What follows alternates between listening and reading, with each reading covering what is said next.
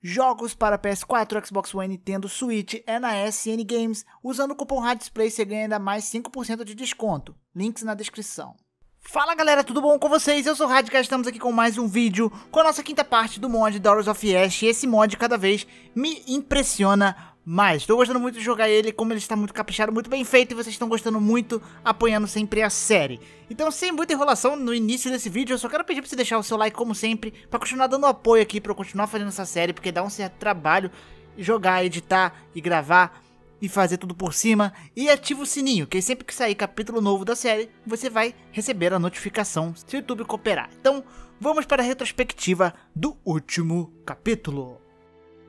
No último capítulo nós exploramos Tomb of Giants, que por sinal estava bem mais claro que o comum. Matamos o Pinwheel, que tinha uma segunda forma um pouco mais forte, e eu fui enfrentar o Nito, que para minha surpresa estava junto com a Ciaran, que por qual raio de motivos eu não sei, mas ele estava muito difícil, então eu vi que não era o momento de eu ficar ali agora e decidi ir para um outro lugar. Eu decidi ir para os Depths, acessar os Depths pelo caminho contrário de Blytown. E foi isso que eu fiz. Subi totalmente, cheguei lá por cima dos Depths, onde eu fui enfrentar o Capra Demon. Porém, eu tive uma grande surpresa. Parece que o chefe bugou.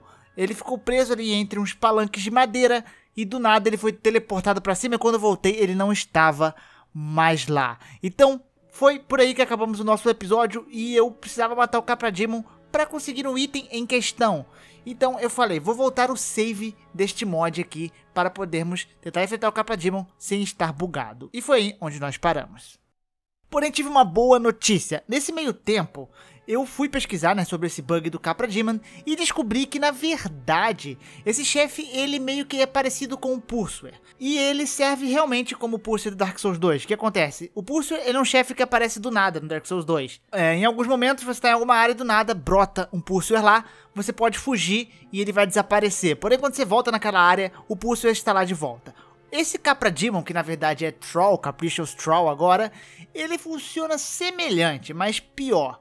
Ou seja, se você enfrenta ele e você morre na forma que ele tá o, o Troll, ele desaparece daquele local. Ou seja, você tem que ou matar ele ou você morrer para ele, ele vai desaparecer. Então existem alguns locais que eu vou encontrar esse chefe novamente e vai ter algum momento que se eu não matar em nenhum dos encontros, tem um momento final que eu acredito que eu consigo matar ele. E ele vai me dar um item que vai me permitir teleportar, eu acho que para quase todas as fogueiras do game, tá? Então, é basicamente isso, esse chefe, e eu achei legal pra caramba a ideia dele aparecer em alguns momentos, e você tem que enfrentá-lo se você não conseguir perder a chance só mais pra frente.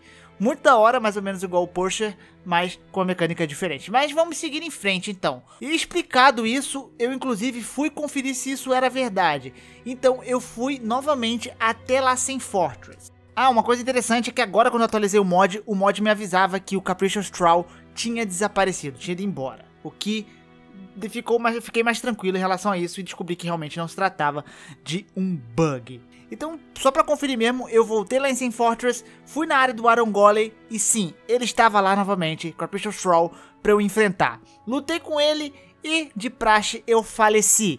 E quando eu voltei, ele não estava mais lá de novo. Então eu só enfrentarei ele mais pra frente, talvez. Então, vamos para a cidade de Deus, vulgo Anorlondo. Para isso, a gente precisa voltar. É, eu andei pra caramba, assim. Voltar lá nas Tomb of Giants para a gente colocar aquele orbe que eu ganhei numa espécie de tumba. E assim eu vou conseguir acessar e chamar as gárgulas aqui, visto que eles não estão ainda em serviço. Então, voltei na catacumba, coloquei lá e apareceu imediatamente que eles voltaram a serviço e eu posso ir para Anorlondo. Então, caminhando de novo, vamos para Sim Fortress. Voltando em Sim Fortress, chamei o meu Uber lá e chegou o Uber lá de Dark Souls e nos levou finalmente para o mapa de Anorlondo. Olha que loucura esse mod fez pra gente conseguir chegar em Anorlondo, que da hora, totalmente diferente, né? Então, chegamos aqui, vamos ver o que tem de diferente. A primeira coisa é que a fogueira tá no mesmo lugar, ali a Firekeeper só tá do outro lado da sala, mas basicamente está no mesmo lugar. Por enquanto aqui, nada muito estranho. Temos os gigantes, temos os baús e tá tudo normal. A primeira descida a gente já nota a primeira diferença. No lugar que teria uma gárgula, agora a gente tem alguns drakes ali que ficam voando e é bem difícil de acertar se você não tiver uma magia, porque eles vão ficar do alto te atacando. Então eu simplesmente ignorei esses bichos, visto que dá pra você correr, eles não te atrapalham tanto. E eu fui pra parte de cima da igreja. Eu particularmente achei que essa parte teria algum tipo de pegadinha, algum inimigo ali para poder te ferrar, mas não, eles decidiram deixar ali tranquilo aquela subida, tranquila entre aspas, tem aqueles carinha que ficam tacando dardo em você, mas dá para passar totalmente de boa, sem problema nenhum. Consegui passar ali na segunda tentativa, mas passei. Ok, seguindo em frente, ao invés de termos os Cavaleiros Silver Knights, nós tínhamos mais Drakes. Não sei por que diabos tem tanto Drake no Londo, mas tinha bastante Drake. E eu ignorei eles e desci ali aquela parte onde tem as gárgulas que tem ataque elétrico, que inclusive são as gárgulas que te trazem pra cá. E elas não estavam lá, tinha mais um Silver Knight. E ali um pouquinho mais embaixo, um pouco antes daqueles arqueiros chatos, o Sigvard estava ali. Ele era supostamente para ser encontrado lá dentro ali do castelo de Anorlondo, numa salinha, num quarto que tem. Só que ele estava aqui antes e ele fala ali, a fala dele basicamente, quando a gente encontra ele em Anorlondo. Então eu segui em frente para os arqueiros. Eu achei legal a ideia que eles fizeram aqui. Eles não deixaram nada mais complicado. Eles mudaram os arqueiros numa posição que você tem que ter um pouquinho de estratégia para passar. Porque tem o arqueiro que fica exatamente no caminho atirando em você. E tem um outro arqueiro lá em cima que você não consegue atingi-lo nem matar de jeito nenhum. Não sei com um arco, talvez. Mas não dá sem isso. Então, a estratégia foi fazer o quê? Foi tentar passar por aquele primeiro arqueiro.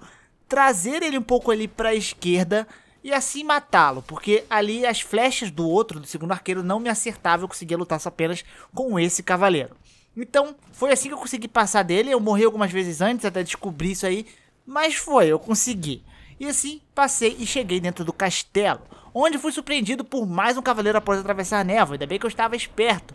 E assim matei ele. Então eu fui direto para a sala onde teria fogueira e para minha surpresa, que não é mais surpresa porque está acontecendo direto, não tinha uma fogueira aqui, tinha apenas um baú. Então eu fui para a sala do lado e lá estava a fogueira. Eles basicamente trocaram de sala a fogueira Deve ter tido algum tipo de mudança aí, alguém mudou de quarto, colocaram a fogueira ali, tudo de boa e tranquilo. Vamos explorar então um pouquinho Anor London, né? Outra coisa que eu fiz antes de vir pra cá, também, só pra comentar, foi tentar entrar no mundo da pintura ali, mas por ali não dá, eu tenho que ter realmente o item para conseguir atravessar. Eu achei que poderia acontecer uma coisa diferente, mas não acontece, ok? Explorando mais, a gente eu encontrei aquela área secreta que fica atrás de uma fogueira, de uma lareira, e ali, em vez de ter o set do Ravel, só tinha um baú com item e o Titanite Demon ali dentro. Onde ele ficava em outra sala, ele foi movido pra cá. E eu não achei a armadura do Ravel, não sei onde eu vou achar ela ainda. Mas aqui ela não tá, que era onde eu teria que achar. Bem, subindo e continuando a minha caminhada por dentro do castelo, eu encontrei um Silver Knight onde eu matei. E no meio do telhado ali, apareceu novamente o Troll de totalmente surpresa para lutar comigo. E eu me ferrei, porque eu estava ali àquela altura com apenas um Estus Flask, sem nenhum tipo de preparação mental para enfrentar esse merda. E eu simplesmente morri igual um cocô, não tive como. E quando eu voltei para cima do telhado, o bicho tinha novamente desaparecido e no lugar dele tinha aparecido um cavaleiro arqueiro ali que não estava. Enfim, matei os dois tranquilamente e vamos continuar. Andando por Anolondo, achei mais uma daquelas runas que eu tinha achado na catacumba, que eu ainda não sei muito bem pra, pra que que ela serve. Aproveitei e encontrei aquele gigantão gente boa e upei minha Claymore pra mais 10. Antes de mais nada, né, fui dar uma olhada bem rápida ali no Smug Warnstein pra ver se mudava alguma coisa. E não mudou, aconteceu a mesma coisa que acontece sempre que eu encontro ele. Ok, depois eu voltei um pouco mais preparado matei o gigantão ali, invoquei o Solé, inclusive o Cavaleiro Arqueiro tinha sido movido para a entrada ali do... Da, da área que você enfrenta os Mug Warnstein e basicamente ficou muito mais fácil de matar os gigantes assim, na minha opinião. E eu atravessei, enfrentei os bichinhos e uma hora foi. Matei os dois desgramados. Não aconteceu nada de diferente por enquanto, porém eu acho que vai dar pra voltar aqui pra fazer outra coisa futuramente, mas vamos ver. E matando eles, tá na hora de ver a minha waifu. Vamos ver a Guinevere. Mas não dá pra ver a Guinevere. Sim, acontece uma coisa estranha aqui. A porta está fechada, você consegue falar com ela, ela te dá o Lord Vessel, que é pra gente conseguir fazer o teleporte, conseguir pegar a alma dos Lords, mas você não consegue ver a Guinevere. Tudo acontece por detrás da porta. E você precisa de alguma chave para abrir. Ou seja, pra gente conseguir destruir aquela ilusão da Guinevere, conseguir enfrentar o Guidolin, deixar a Londo totalmente escura, a gente vai ter que achar uma chave para isso. E eu ainda não sei como eu vou conseguir, mas uma hora a gente vai conseguir descobrir como achar esta chave. Porém, agora a gente tem o principal mecanismo de teleporte, o que nos possibilita viajar para alguns locais. Detalhe interessante: os locais que você pode teleportar foram mudados, está um pouco diferente do jogo original. Por exemplo, você pode ir para Undead Asylum, você não precisa ficar subindo aquela aqueles negocinhos, fazendo aqueles malabarismos para poder o corvo te levar para lá. Dá para teleportar para lá. E foi uma coisa que eu fiz. Eu falei, vamos dar uma olhada no Undead Asylum, vamos ver se eu consigo abrir a porta daquele inimigo estranho que estava lá no capítulo 1, que eu não sabia como abrir. Talvez eu matando o demônio ali embaixo eu conseguia. Então vamos dar uma olhada lá. E olhando para baixo não tinha nenhum demônio ali, só tinha alguns inimigos, alguns vários undeads chatos pra caramba que ficam atacando fogo. Então eu pulei ali, comecei a matar undeads e do nada caiu do alto o demônio que realmente a gente vai ter que enfrentar, que é o Asylum Tyrant. Então ele aparece um pouquinho depois ali que você cai e tenta matar alguns undeads. E ele me matou. Por sinal, ele é bem difícil. Na verdade, o chefe em si não é difícil. O que é difícil é você conseguir limpar o máximo de undeads antes que ele caia e comece a te bater. Porque aí fica muito mais complicado. Então, eu tentei algumas e algumas e várias vezes. Porque esses undeads são realmente muito chatos. Principalmente os do fogo, que dão muito dano. Você já cai lá embaixo com a metade da vida. Mas foi uma hora que saiu, eu consegui matar. Consegui matar o Tyrant e foi tranquilo. Ele me dropou uma key que particularmente eu achei que era pra gente liberar aquele cara lá do início do primeiro episódio. Eu fui todo feliz lá, falei, vamos ver, vamos liberar esse cara aí pra gente ver o que, que vai acontecer. E nada. Não é essa aqui pra liberar ele. Então, não sei. Eu explorei um pouco mais o Asylum pra ver se eu achava essa chave pra abrir alguma outra coisa.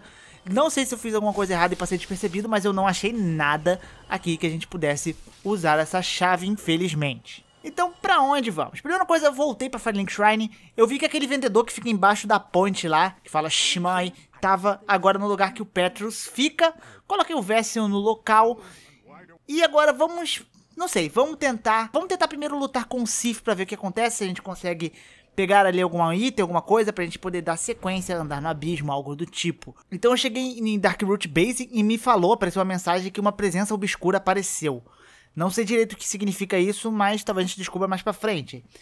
E o portão do Cif, ele lembra que eu falei que não dava para comprar aquele item de 20 mil almas lá no ferreiro para atravessar aqui, acho que foi no segundo episódio isso.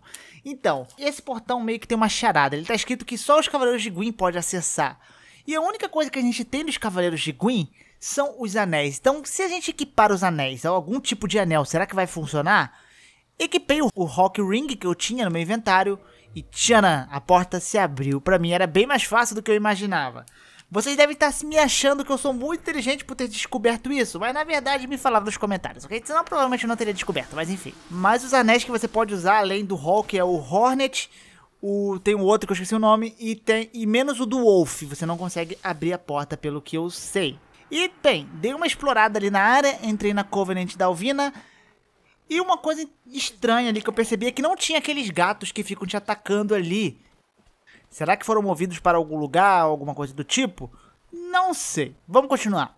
Então eu dei uma explorada ali, vi que não tinha mais nada demais. Praticamente aqui não teve muitas mudanças, assim, nada de muito novo, pelo menos eu não vi. Então eu fui logo para enfrentar o Sif. Infelizmente, né, vamos matar o lobinho. E para minha felicidade, nós não enfrentamos o Sif, pelo menos não aqui neste mod não sei se a gente vai enfrentar ele. Quando a gente chega nesse local, a gente tem uma surpresa de um chefe novo, basicamente chamado Grave Stalkers. São pessoas que procuram tumbas, algo do tipo. E esses Grave Stalkers são nada mais que aqueles gatos que eu falei que não encontrei, transformados em chefes. Eles têm uma pegada meio parecida com o do Four Kings, vai aparecendo um e conforme você mata um, aparece o outro. Se você demorar muito para matar aquele, outro vai aparecer e vai acumulando os gatos. São no total três gatos e você precisa matar os três. Então você vai matando, o HP vai descendo. Mesmo se o HP de zerar e o gato ainda estiver vivo, você tem que matar o gato para poder dar fim nesse chefe. Eles basicamente têm os movimentos dos gatos inimigos, só que transformados em chefes. E ao matá-lo, a gente consegue um item interessante no mínimo, que é o Silver Pendant. Esse item é aquele que você pode refletir os ataques mágicos do Manos, só que a gente só encontra esse item lá na DLC, o que é bem estranho. Eu tive que pedir ajuda do universitário para descobrir o que fazer com esse item, porque eu realmente estava sem ideia. E realmente o processo para poder conseguir usar esse item é complicado de descobrir sozinho. Primeiro que ele serve para você acessar a DLC. Então eu falei, vamos acessar logo a DLC para ver no que dá e no que mudou aqui. E então, para acessar a DLC, olha, que, olha a bizarrice que teria que fazer. Eu não ia conseguir descobrir sozinho nunca. Primeiro que você tem que levar esse colar para aqueles pássaros lá no Undead Asylum, né? Aqueles passarinhos que você joga um item, ele troca o item com você. Sim, então você tem que dropar esse colar ali, sair do jogo e entrar novamente. Ao fazer isso, você vai pegar o Broken Pendant. Você conseguia isso matando aquele golem lá e resgatando a Dusk. Isso a gente já fez no segundo episódio, matando a Moonlight lá e aquele golem falando com a Dusk, etc. Porém, esse colar aí quebrado, esse Broken Pendant, a gente só consegue fazendo esse procedimento, trocando com ele, coisa que eu não ia descobrir nem aqui nem na China. Eu ia ficar provavelmente nunca sem acessar essa DLC se eu não conseguisse a ajuda dos universitários. Então vamos fazer uso dele. Eu voltei lá para aquele local onde está a Hydra, mas eu ignorei a Hydra, não lutei com ela. E aí por padrão tinha a Hora Negra para acessar a DLC. Porém uma coisa bem diferente aconteceu, é que apareceu a mão do mano te puxando, porém a mão como se fosse um Red Phantom, uma mão totalmente vermelha, me puxou para dentro da DLC, o que é muito estranho. Eu acredito que isso não é bug, é proposital e alguma coisa vai mudar lá dentro.